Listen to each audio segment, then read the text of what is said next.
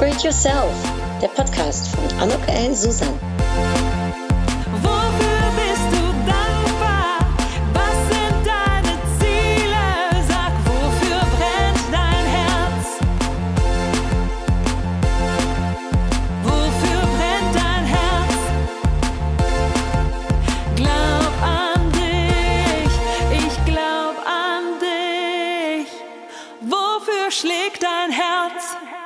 Ja, ein herzlich willkommen, ein herzliches Willkommen zu dieser Weihnachtsepisode von Upgrade Yourself, Glaub an dich. Heute ist der erste Weihnachtstag, 24. Dezember, ähm, diese Episode on air geht und ähm, ich werde es kurz und knackig halten und wenn du die Sendung äh, gehört hast, dann hast du eine kurze ja, Weihnachtsgeschichte von mir gehört. Und heute, heute ist Weihnachten.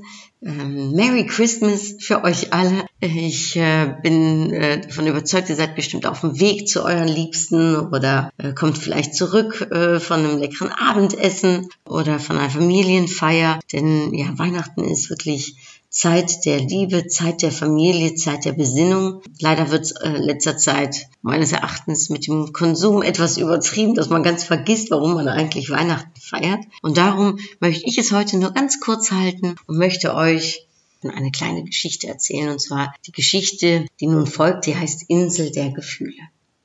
Vor langer Zeit, da gab es einmal eine schöne kleine Insel. Hier lebten alle Gefühle, Eigenschaften und Qualitäten der Menschen einträchtig zusammen. Der Humor und die gute Laune, hm, der Stolz und der Reichtum, die Traurigkeit und die Einsamkeit, das Glück und die Intuition, das Wissen und all die vielen anderen Gefühle, Eigenschaften und Qualitäten, die einen Menschen ebenso ausmachen. Natürlich war die Liebe dort auch zu Hause. Eines Tages machte ganz überraschend die Nachricht die Runde, dass die Insel vom Untergang bedroht sei und schon in kurzer Zeit im Ozean versenken würde. Also machten alle ihre Schiffe Segler, um die Insel zu verlassen.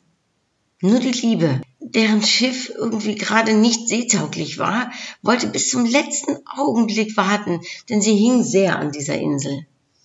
Als das Eiland schon am Sinken war, da, da bat die Liebe die anderen um Hilfe. Helft mir, der Reichtum, der schickte sich gerade an, auf einen sehr luxuriösen Schiff in See zu stechen. Da fragte ihn die Liebe, Reichtum, kannst du mich mitnehmen? Nein, das geht nicht. Auf meinem Schiff, da habe ich sehr viel Gold, Silber und Edelsteine. Da ist kein Platz mehr für dich. Also fragte die Liebe den Stolz, der auf einen großen und schön gestalteten Schiff vorbeikam. Stolz, bitte, kannst du mich mitnehmen? Liebe, ich kann dich nicht mitnehmen, antwortete der Stolz. Hier ist alles perfekt und du könntest mein Schiff beschädigen. Als nächstes fragte die Liebe die Traurigkeit. Traurigkeit, bitte, bitte nimm mich mit. O Liebe, entgegnete die Traurigkeit, ich bin so traurig, dass ich allein bleiben muss. Als die gute Laune losfuhr, war sie so zufrieden und ausgelassen, dass sie nicht einmal hörte, dass die Liebe sie rief. Plötzlich rief aber eine Stimme, Komm, Liebe, du kannst mit mir mitfahren. Die Liebe war so dankbar und so glücklich, dass sie völlig vergaß, ihren Retter nach seinem Namen zu fragen. Und später fragte die Liebe das Wissen, Wissen, kannst du mir vielleicht sagen, wer es war, der mir geholfen hat? Ja, sicher, antwortete das Wissen. Das war die Zeit. Die Zeit? fragte die Liebe erstaunt. Warum hat mir denn ausgerechnet die Zeit geholfen? Und das Wissen antwortete, weil nur die Zeit versteht, wie wichtig die Liebe im Leben ist. Ich finde es eine wunderschöne Geschichte und ja, ich sende euch auch ganz viel Liebe für diese besonderen Tage, für die besinnlichen Tage, für die besinnliches, für ein besinnliches Weihnachtsfest, für die Zeit mit euren Liebsten um euch. Und ähm, ich danke euch für ein wunderschönes 2019 und ähm, denke, dass jetzt ein, ein Moment angekommen ist, in dem jeder eben sich mal zurückzieht, für sich ist, vielleicht auch reflektiert auf das Jahr. Vielleicht gibt's Geschenke unterm Weihnachtsbaum zum Auspacken. Aber das Wichtigste, ja, das Wichtigste ist die Liebe und die Zeit, die wir einander schenken, meines Erachtens. Und darum eine sehr kurze Episode. Meine Frage ist, Wem hast du in diesem Jahr alles deine Liebe geschenkt und von wem hast du Liebe bekommen und wem darfst du noch vielleicht viel mehr Liebe schenken, als dass du es momentan schon tust? Und dann ziehe ich natürlich auch wieder eine Upgrade-Karte, eine Weihnachts-Upgrade-Karte und die heißt erwartungsvoll. Das ist spannend, ja. Manchmal erwarten wir zu Weihnachten ganz, ganz viel. Es muss immer der perfekte Tag sein oder es muss ganz ruhig und besinnlich und liebevoll alles sein.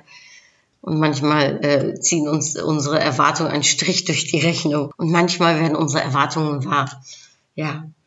Welche Erwartungen hast du an diesen Tag, an, an, an Weihnachten, an die, an die Zeit, an vielleicht auch eine kurze Urlaubszeit, die da jetzt kommt? Ich hoffe, dass deine Erwartungen für dich wahr werden und wünsche dir, wie gesagt, eine schöne Zeit. Frohe Weihnachten, Merry Christmas, fröhlich Kerstfeest und äh, alles, alles erdenklich Gute und Liebe wünsche ich euch. Hartelijke Groetjes, herzliche Grüße, bis bald. Die nächste Episode kommt Silvester, also zwei wirklich spannende Tage, um eine Episode rauszubringen. Klasse. Ähm, und dann geht's im nächsten Jahr wieder weiter mit äh, den Interviews. Also, ja, auf die Liebe. Op de liefde. Tschüss, tot gauw. Doei.